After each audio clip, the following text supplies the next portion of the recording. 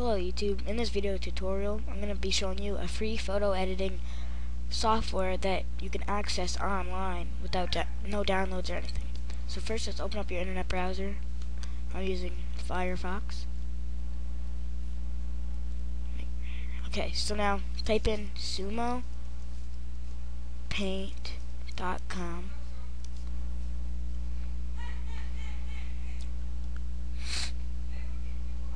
and you could create an account really easy. Just tick this box type your username password and your email address hit register and you can automatically sign in. You don't have to validate it or anything. So whatever. But you do not need to do that. Just if you want to save pictures that you make or you edit so you can open them up later. Well you could save them normally to like your computer but if you create an account you can save it just like on your account so you can open it without taking up any file space on your computer. Okay, so once you're here, scroll down and right here it says Sumo Paint is a free image editing software that gives you the opportunity to create, edit, and comment images online with powerful tools and layer, layer support. You can also use Sumo Paint directly from, and it gives you this link here. Click on the link.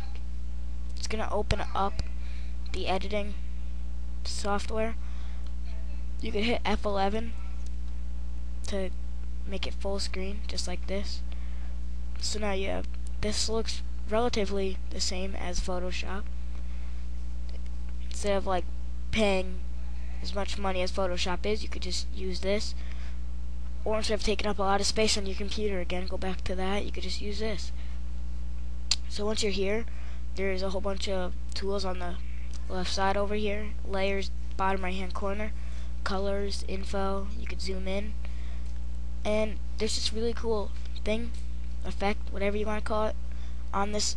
It's right here. It's the symmetry tool. If you click on it, you can make effects and it will automatically make it like a symmetry object. It's really cool. You could do whatever you want with this.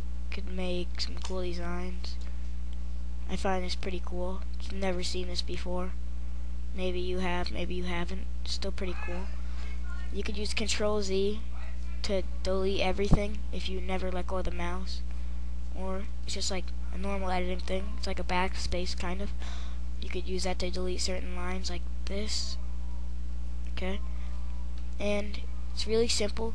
If like you have a huge thing, all you have and you don't wanna like delete it, just go to file, save to my computer or save to Sumo account and then you could just go to file new type in the name and you could make the width and the height.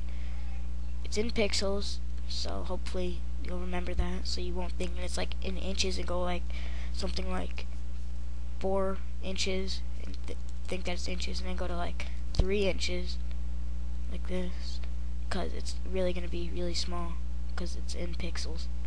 Yeah it's that little dot right there. What are you gonna do with that Come on, people.